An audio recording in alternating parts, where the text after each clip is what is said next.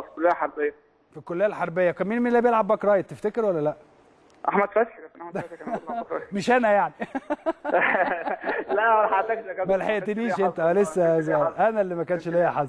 ب- بتفكرك بإيه بقى مباريات الأهلي والزمالك يا يا آه تريزيجيه طبعا ذكريات جميلة جدا. بتبقى ماتشات جميلة وماتشات عايزة مسؤولية كبيرة وإن شاء الله اللعيبة إن شاء الله تكون قد المسؤولية إن شاء الله ويقدروا يفرحوا جمهور الأهلي كله إن شاء الله. بقول لك أنت مزعل بركات بالمناسبة. إيه؟ مزعل بركات. لا والله ده آه. لا لا لا مزعله لأن هو خلي بالك أصل هو برضو من اللعيبة آه، اللي لعبوا مباريات أهلي وزمالك كتير جدا وما اتغلبش. فأنت كده برضو من اللعيبة اللي لعبوا أهلي وزمالك وما اتغلبوش. آه أنا لعبت ست ماتشات ما اتغلبتش بس كابتن بركات لعب كتير لعب كتير عني أنا ما لعبتش كتير قوي يعني. أنت إيه ست مباريات أنا بقول ها؟ آه أنا ست مباريات بس. طيب